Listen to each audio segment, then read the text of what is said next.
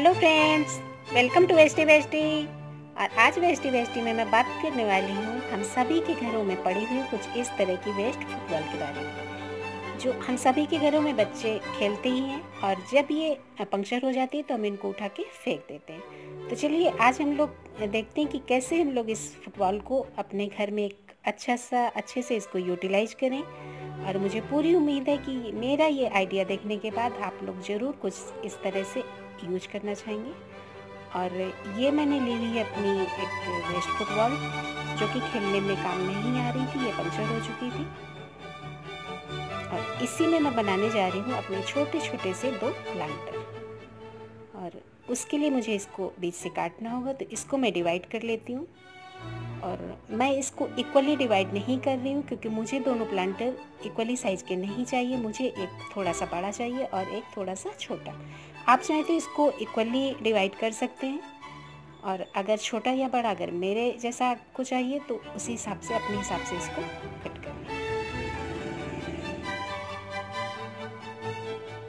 ये मैंने प्लास्टिक के छोटे छोटे से दो कंटेनर डिस्पोजल जो हमारे बाहर से आते ही रहते हैं जब भी हम कोई सामान मंगाते हैं, उसी को मैं इसको यूज़ करूँगी इसका स्टैंड बनाने के लिए और उस पर मैं ये ट्रेनर शोल बना लिया और अब इसको हम लोग काट लेंगे। इसको मैं काट रही हूँ कटर की मदद से, आप चाहें तो इसको सीजर की मदद से भी काट सकते हैं, आराम से कटेगा।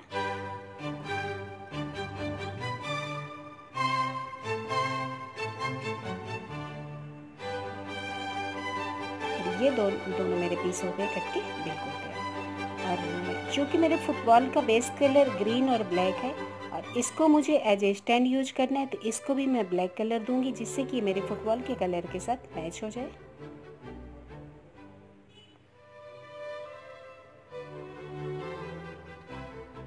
अब मुझे इसमें नीचे ड्रेनेज होल भी बनाने पड़ेंगे, क्योंकि मैं इसमें लगाने जा रही हूँ अपना प्लांट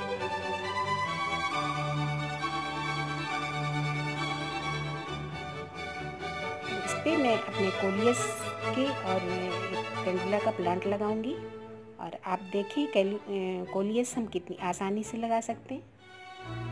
और इसको मैं एज ए स्टैंड यूज़ करूँगी तो इसमें मैं हॉट ग्लूगन की मदद से इसको फुटबॉल इसमें चिपका दूँगी और ये आराम से चिपक जाएगा। थोड़ा सा नीचे के साइड से भी चारों तरफ़ से लगा दें, जिससे कि अच्छे से फिक्स हो जाए।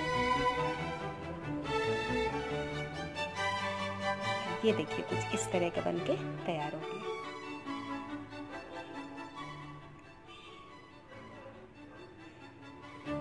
और बस इसी तरह से हम अपना दूसरा पीस भी तैयार करेंगे।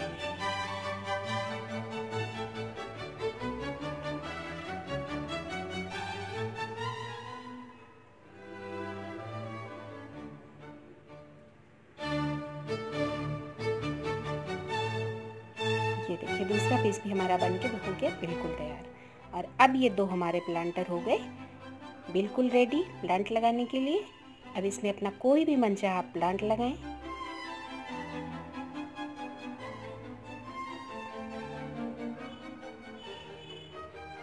इस छोटे से प्लांटर में मैं अपना लगा, लगाने जा रही हूँ कैंडुला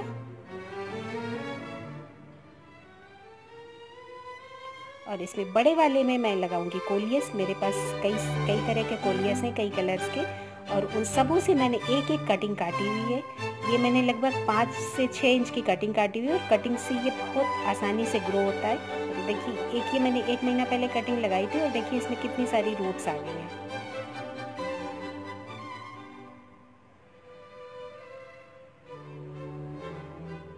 ये सारी एक एक कटिंग ही है। और ये आराम से एक महीने बाद ये अच्छे से ग्रो हो जाएँगी सारी कटिंग्स और ये देखिए, ये मैंने इसमें पूरे चार कलर के मैंने कोलियस लगाए हैं। और ये मेरे घर में ही बिल्कुल फ्री के एक तरह से आप कह सकते हैं फ्री के हमारे ये प्लांटर हो गए बन के बिल्कुल तैयार। तो मुझे पूरी उम्मीद है कि आपको भी ये ज़रूर पसंद आए होंगे ये छोटे छोटे से खूबसूरत से प्लांटर, जो कि हमारे फ्री में ही बन के तैयार हो जाएँगे। और ये देखिए, मैंने पहले भी बनाए हुए थे दो। इस पर मैंने नीचे स्टैंड नहीं लगाया हुआ, सिंपली मैंने फुटबॉल काट के और चूँकि वाइट कलर की फुटबॉल थी तो नीचे से बहुत ही रफ दिख रहा था तो इसमें मैंने जो प्लास्टिक की जो हमारी बोरियाँ आती हैं, वो मैंने इसमें ऊपर से कवर कर दी थी।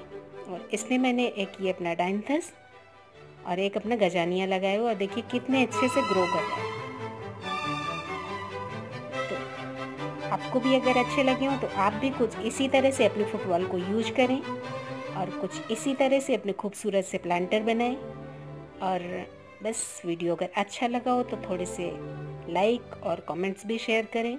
और वीडियो को भी शेयर कर दें, अगर आप लोग चाहते हैं कि आप लोगों के साथ साथ आपके सभी जानकारों को भी ये जानकारी मिले तो उनके साथ भी शेयर करें।